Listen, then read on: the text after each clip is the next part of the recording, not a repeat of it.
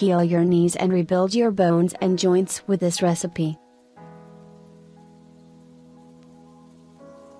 As we age, our bodies get more damaged and this damage is often accompanied with discomfort and pain.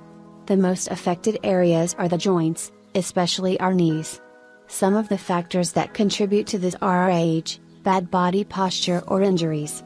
If we don't address this issue on time, it can become very difficult to treat later. So, you should consider trying the remedy we are about to show you as soon as you can. It's great for your knees and your joints in general.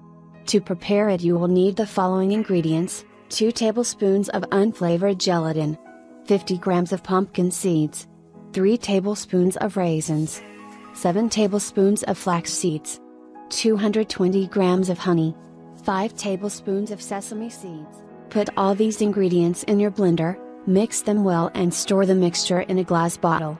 It's best to keep it in your refrigerator.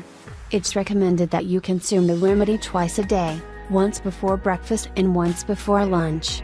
You will feel its effects in very short time, and not only will it heal your joints and bones, but it will also strengthen your metabolism in general.